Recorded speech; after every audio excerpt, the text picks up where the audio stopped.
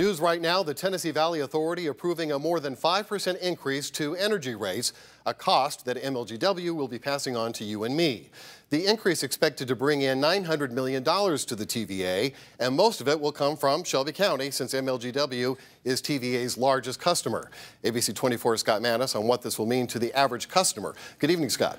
Good evening to you, Richard. MLGW tells me because of this approved rate hike, customers will pay about $4 more a month. And with last year's 4.5 TVA hike, in addition to MLGW's 12% hike, some folks here in Memphis tell me tonight any bill that's higher than the one that they already have might be difficult to pay.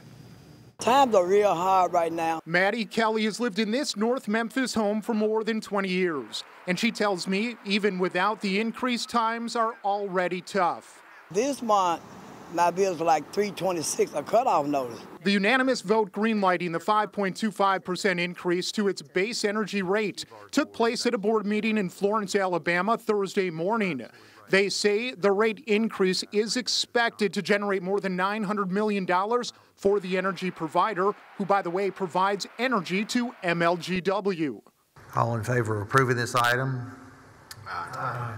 TVA says the money generated by the 5.25% increase will go towards operation and maintenance costs. This, well, many Memphians tell me, regardless of how much the increase is, right now, it's just too much to handle. So even if the bill goes up $4 a month, that's still a struggle. It's still a struggle because my kids going to have to come and help me.